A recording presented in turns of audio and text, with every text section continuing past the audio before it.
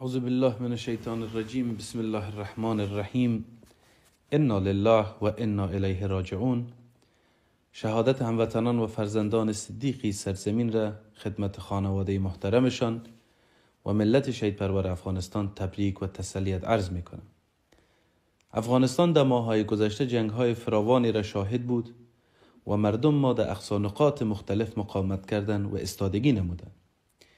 تا اینکه متاسفانه به دلایل مختلف جنگ به نقطه رسید که افغانستان در تنگنای سقوط قرار گرفت.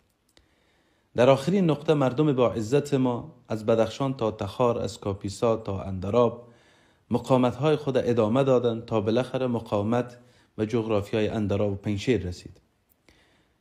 جبهه مقاومت ملی به خاطر دفاع از عزت، سلامت، استقلال، آزادی و عدالت مبارزه خود به خاطر دفاع از ارزش ها شروع کرد.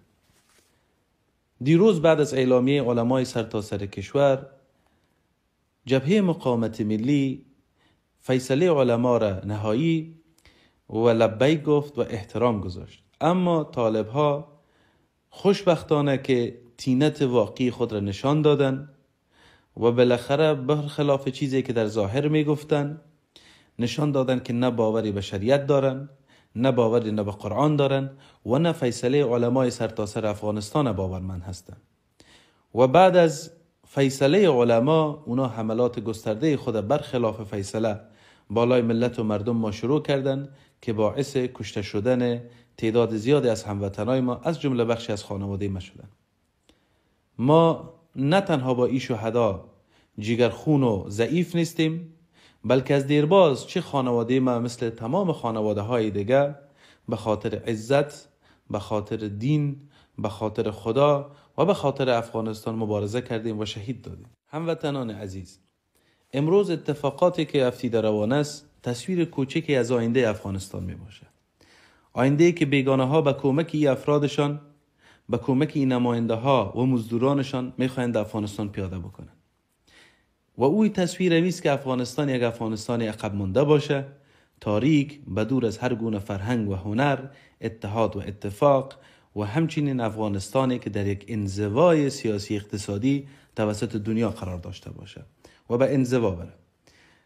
و نه کسی با ما کار داشته باشه و نه دیگه افغانستان یک سیاست و برنامه مستقل مربوط خود را داشته باشه.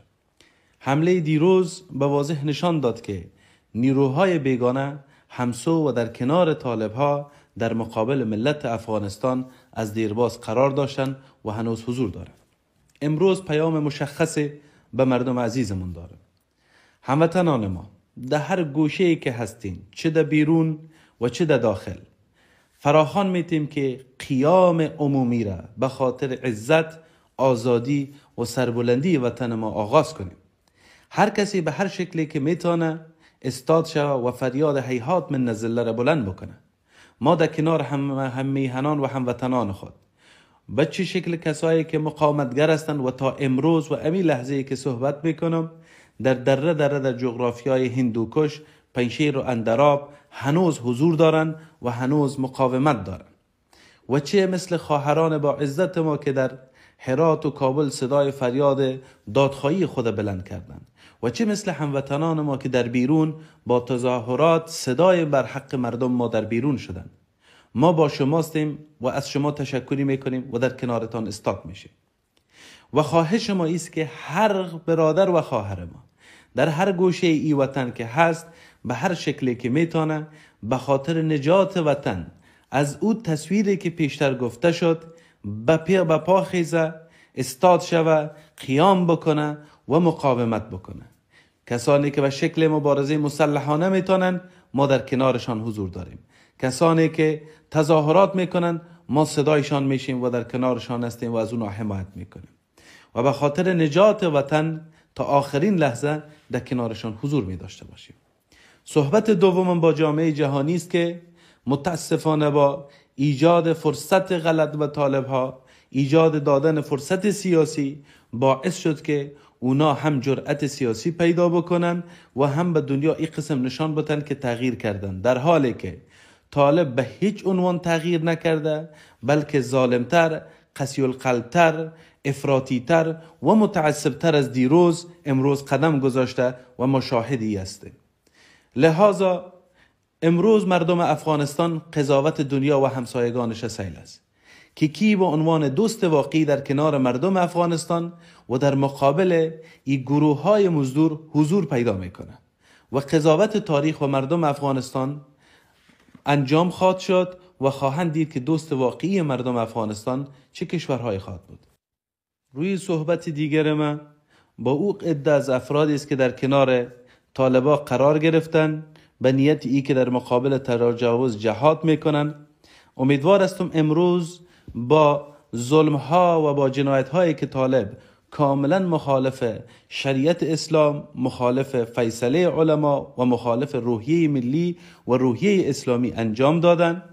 امیدوار هستم که اونا از خواب غفلت بیدار شده و بفهمند که خود را خانواده خود را و آینده خود را و آخرت خود را به تباهی می‌کشن شمایی که می شاید با نیت خیر خیسته بودین امروز وقت جبران اشتباهاتتان رسیده. شمایی که از بدخشان تا تخار شمایی که از هلمند تا قندار حضور دارین. وقت جبران اشتباهاتتان امروز است. در کنار مردم ملتتان قرار بگیرین. از خداوند عفو بطلبین که دست به خون بیگناه دراز کردین و هنوز خداوند به شما فرصت ایره داده تا اشتباهاتتان جبران نموده و دنیا و آخرتتان آباد بسازین امیدوار هستیم که با درک درست از اوضاع و شناخت دقیق دشمن شما به اشتباهاتی که تا حال انجام شده بیشتر از مرتکب نشید یک بار دیگه شهادت جوانان صدیقی سرزمین را خدمت همه تسلیت عرض می کنم و متحد به تعقیب رای آن هستیم جبهه مقاومت ملی به زودی سخنگوی جدید خود اعلان نموده و بار دیگه اعلان می‌کنه که شهادت افتخار ماست و به هیچ عنوان شهید دادن و همچنین فشارهای بالای جغرافیا آوردن از روحیه ما نمیکاهه بلکه در کنار ملت و مردم خود تا آخرین نقطه و تا آخرین لحظه جبهه مقاومت تا آزادی افغانستان و پیروزی مردم افغانستان ادامه خواهد داد و ما باورمند استیم که ان الله به توفیق پروردگار و همت مردم ما پیروزی اتمی است و در مقابل اراده یک ملت هیچ قدرت و نیروی استاد شده نمیتاره. و السلام علیکم و رحمت الله و برکاته.